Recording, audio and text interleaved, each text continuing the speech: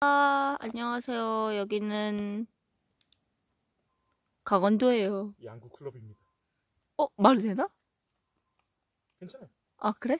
어, 채집을 왔어요. 야간 채집. 네. 그래가지고, 다영님이랑 뭘 되게 많이 잡기는 했는데, 뭘 잡았는지 저는 잘 모르겠어요. 근데 제가 잡은 게, 홍다리 사슴벌레? 도 있고, 참사슴벌레도 있대요. 민토이띠 그거 가지고 와봐요. 나도 영상 좀 찍읍시다.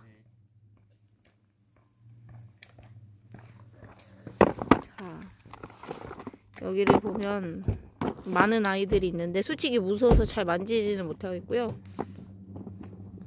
어우 진짜 많아. 와 여러분 보이세요? 이렇게 많아요. 여기 있는 것뿐만이 아니고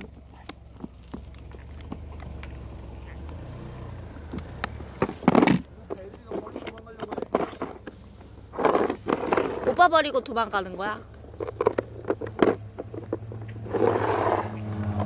여기에도 있어요. 진짜 크죠? 저는 사슴벌레는 잘 모르는데 홍다리 사슴벌레인가? 이거 톱사슴벌레. 톱사슴벌레하고 아니. 홍다리 사슴벌레. 어, 그거 되게 귀하대요. 그래가지고 저는 이거를 본 것만으로도 행복합니다. 이게 다 너가 손으로 잡은 거잖아. 아까 전에 어디서 구라를 치고 있어. 잘 못 만진다는 소리 하고 있어. 아까 전에 막 손으로 매미 잡고 막 이거 다 손으로 주워 주워 쓰면서 아니야. 벌레만 보면 일단 그냥 손부터 맞으면서.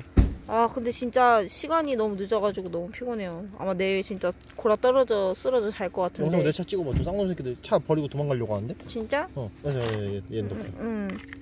아무튼 여러분 밤채집은 재미납니다. 어, 다리 찝혔다. 다리? 어, 됐어, 됐어. 응. 잘 들어갔어. 여러분 주바할게요. 너무 피곤해요. 주바.